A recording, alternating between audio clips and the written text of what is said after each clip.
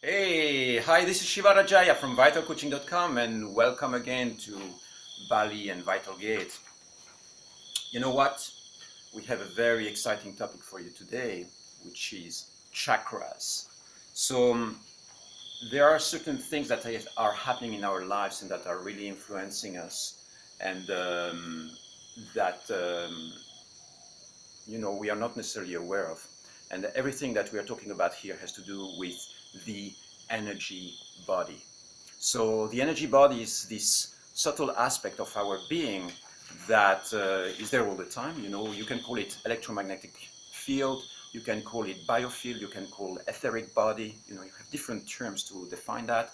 Chinese medicine touches on the on the nadis, the meridians. You know, all these energy lines that we have inside of us. So there is all this subtle um, anatomy we call that the spiritual anatomy or the energetic anatomy. And part of this anatomy is the chakras, which are wheels of energy or centers of energy that we have seven of them, seven major ones, which is the crown chakra, the third eye, the throat, the heart, the solar plexus, the sex center, and then the base of the spine, which is called Muladhara.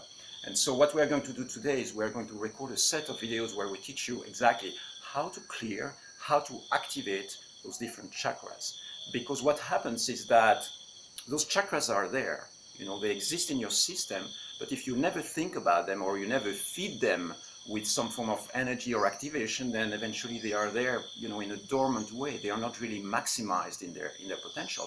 And on top of that, when, for instance, you might have negative traumatic experiences, you might have energy that gets stacked in the form of crystallized, you know, traumatic experience and vibration and uh, once this, uh, this gets stuck in your system, unless you use some form of technique to release this, uh, this tension, and eventually it can stay there for the rest of your life. And once you have something which is stacked in your system, you know, like a negative emotion which is crystallized on you, and eventually this leads to sicknesses, it leads to uh, upset, you know, you might have people triggering you and you don't even know why you get triggered by something, and it's just because there is a crystallized negative emotion that is coming from the past. So the chakras, you know, are something really magical. Those wheels of energy that we are going to learn today how to activate are uh, an extremely powerful uh, system. Um, other terms for the chakras, you know, you can use the term of energy center, uh, consciousness gateway. Uh, they are also connection channels. It means that when you are connecting with people and really uh, going into um, into uh, telepathic connection and an energetic connection with somebody, you can really tune into each other's third eye and uh, start, um, yeah, connecting with each other on a subtle level.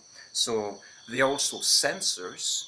You know what I mean by that is that um, is that uh, when you uh, you feel something in your stomach, you feel something in your heart, or you feel something in your third eye, all that are subtle impressions that you receive on your energy body, and they are going to impact in your chakras in very specific ways. So you can use also your chakras as sensors. So the goal of what we are going to do today is really to activate all these chakras, clean them, clear them, give you tools to, uh, you know, to play with them, uh, we have crystals, we have symbols, we have colors, we have mantras. It's going to really be a fantastic, powerful series. I, uh, we are going to be posting one video a day on this topic. So what I encourage you to do, if you're on YouTube, subscribe to the videos, come to my channel, come to my website, vitalcoaching.com to start following that. That way you can have these classes, you know, this series delivered to you while you're at home. That way you can practice all that. I encourage you also to go into the practices, okay, while you receive all that. Don't just stay there passive watching the video. Actually practice what we, you know, what we are teaching you in this video series.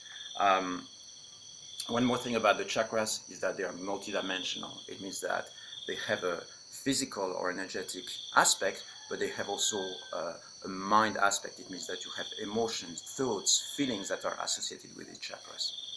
Um, yeah, that's it for now. Let's start with the first, the first chakra, and. Uh,